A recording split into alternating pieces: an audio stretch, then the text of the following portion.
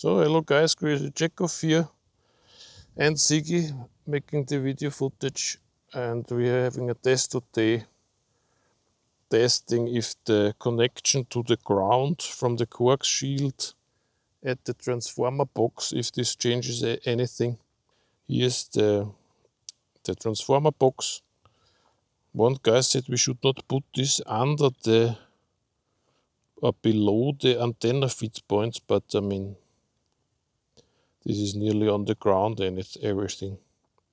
So this is a little bit hard to do. I mean, it's not really directly under, it's a little bit on the left. So here this is connected with this connector. Here we have two ground rods and we are testing one time transmitting without this and one time with. Several times, like always, same procedure. Uh, the antenna end fed 4.5 meter, 4.5 meter pole. It's on both ends and uh, it's on the ground. Let's go there. Here is my pole holder from the al aluminum and yeah, the two last elements are removed. It's, it's a six meter pole. Now it's only, I think, 4.5 meter without the last two endings. And the one end of the end fed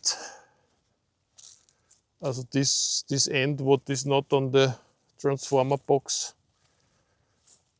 is mounted like this. We never showed it, now we are showing it. We have it this time with, uh, yeah, like this. It's winded back because it was too long. It's quite a lot winded back. We had a SWR, you saw it I think in the video, I will insert it. 2.3, quite bad. But in general, this in end fed, if you compare this with the dipole, it's trickier to set up to get the better SW, the SWR. You need to put the ends higher. So close to the ground, I think is it's tricky. So here the results in the Excel sheet. So this is end fed grounding at transformer versus no grounding.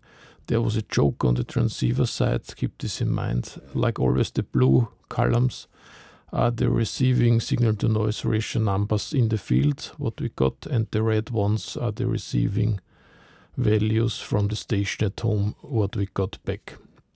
So the left two columns, this uh, is without the grounding, the right two columns with the grounding, you see, with the grounding, uh, minus 9.83 was 1 dB better than without the grounding, and for the uh, receiving numbers what we got back from the home station. So this is more or less the transmi uh, transmission is mm, yeah nearly identical. Yeah not expected that there will be any difference with grounding or not grounding but this is these are the, the results. It's like it is. We can all make our own conclusions. So thank you for watching. This was it for today. I wish you a nice day and see you in the next video. Bye bye